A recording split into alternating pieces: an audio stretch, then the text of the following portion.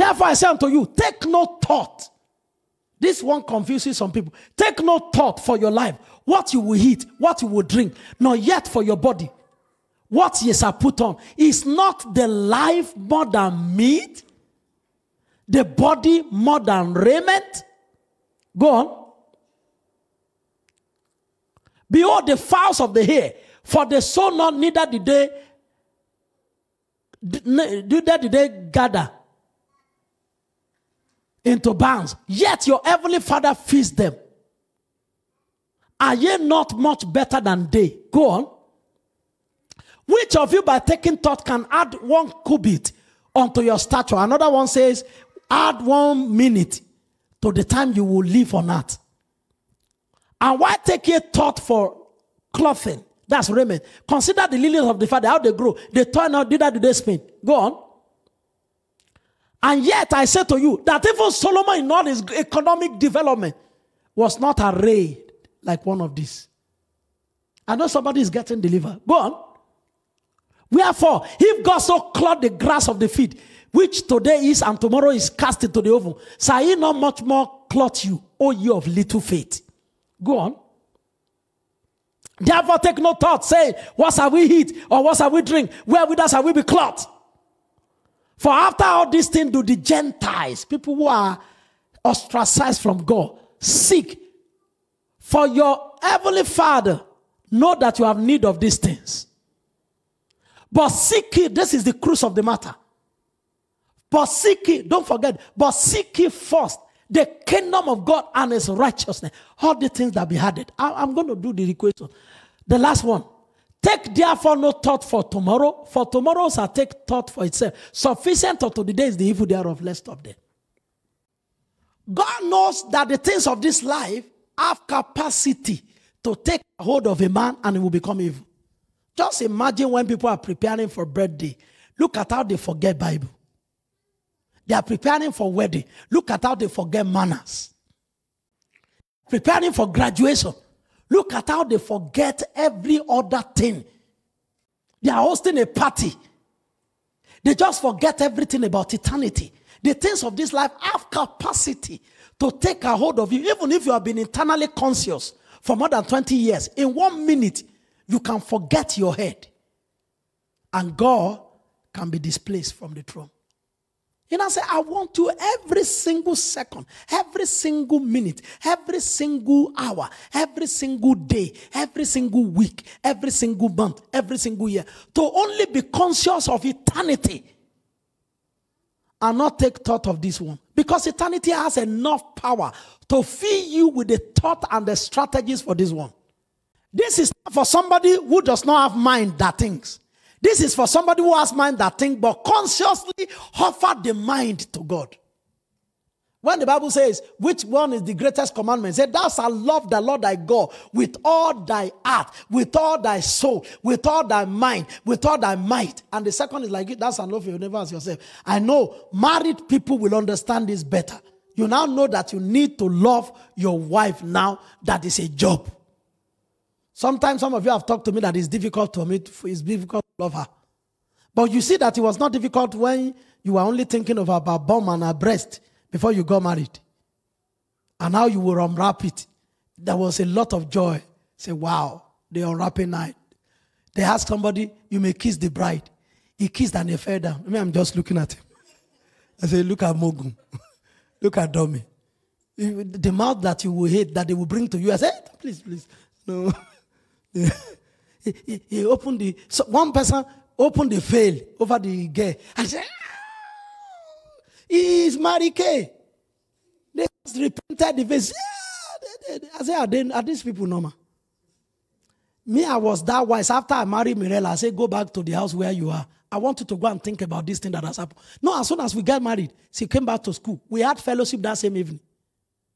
She was wearing the wedding of God, the garment of wedding to the fellowship. GMIT fellowship. It was a Thursday. And I said, Go to your house. I go to my house. Let me be thinking of all these things. What has happened to you? Marriage has not been consummated. Nobody has slept with each other. Is it not because of hurry up, hurry up? That's how Jacob went to go and impregnate another woman. Only to wake up in the morning and discover that uh, you are not Abdul. This is the Dawuda. A man of God had to come and pray. They pray for three days. They have for suffers to go on three days fasting and pray. They had to come and pray and break every yoke in my house before we start consummation of whatever. Even before the consummation started, we went to family planning court. We went there to go and ask them. We were just arranging, only God just wanted to catch me. Because we, we did everything. Mm. Answer just came on its own by the hand of God. Are you, are you, hearing, what, are you hearing what I'm saying? God wants you to deliberately, just like married women have to be commanded, husband love your wife. Have you ever seen boyfriend love your girlfriend? No. Fiancé love your fiancé? No. You are imagining, ah, oh, this bed, oh, this girl, he will know me. After you now get married and you are not sleeping together on that same bed, you then say, no, I need, I need, I, I just want to be free. I want to be. I've seen people go to the house of their friends, boys, and say, I'm going to love you more if you just allow me to go. they go for one week. They are not, they are not everything they ever, they didn't do as young people. They now begin to do, jump, say, hey, I, hey, say, I'm free. They jump. If the wife now sees the video and say, he's so happy. And at home, it's just so moody. but this is the guy you are looking. God, it is at that stage the Bible now commands husband love your you're not going to bring sweet sensation and put in your heart. Say, I love you, baby. But those, those are the time that the wife is not calling, uh, what name do you call them? that one took her eyes off it. my love, my love, Avo. Instead of Ovo, say Ava. Love you, good, sweetie. As they say it, your ears are not paining you as a woman, as a man. As they say, sweetie, you, say, mm, you, want to just change your hair say, please, please, please, please. Did they tie you to me? What is the, what is the, what is the issue that I don't some one, one man of one man of God told me that the wife will greet him in the morning, good morning. He said, he said, Well, the wife, what is good in the morning? This is the same person that was crying. One day, Pastor Sade told me, the way you sometimes make noise on Mirella, do you know how we really petition God before God gave us this girl? I just want you to know. I said, I still remember. He said, You petition God, you wanted to die. I said, Don't forget, oh, Pastor David. I said, Yes. I was going to Revelation TV in Spain. That, that was February last year. That's what he was telling me. Are you listening? You now have to deliberately love God like that.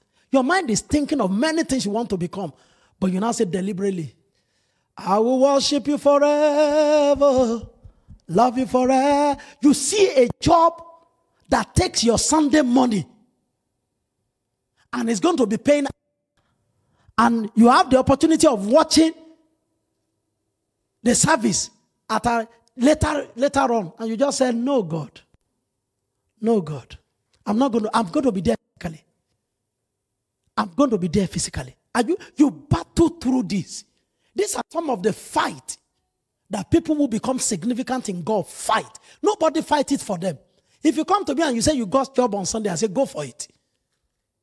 Somebody said instead of giving me night, they gave me evening. I say go for it. You will never hear from Mama, don't go for it. Never. Because your personal sacrifice between you and God is between you and God. I made my own mind known. I told God nothing. I stopped education as a teenager because it crossed God's will. I said, I will only obtain education that does not tamper with what I do for you. And all through my life, I've only done part time education. I've never done full time. That takes my Sunday or take my day of anything that I do for God. Nothing has ever stopped anything that I do for God. Has He given me education back more than the people that we grow grew up together yes or when i talk to you i look like somebody who is not educated no of course no i made my own sacrifice as a teenager when they told me you cannot go to school they straight away left their net i know education will not be part of what i will do It was 10 years later. I gave my life to Jesus in 1992. It was 2002 that I now started university education part time. Only on Saturday. When I had to do masters in this country, it was Tuesdays and Wednesday. But my services that time started from Thursday to Sunday in the church in Galway here. If he was going to take on any Tuesday or whatever, if I had Tuesday service, I won't do it. I will look for another one. I will look for online one. Eventually, I will have gotten online one.